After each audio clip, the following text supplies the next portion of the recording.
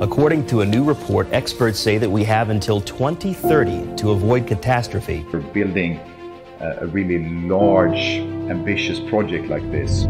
Having a sustainable battery is definitely becoming a must.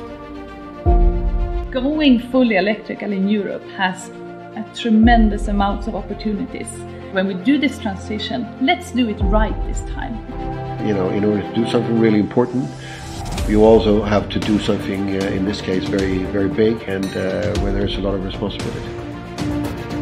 As we've gone along, we have both seen where there is more and more cities as well as countries that have started to make clear regulations towards the transformation out of both the diesel as well as the, the combustion engine.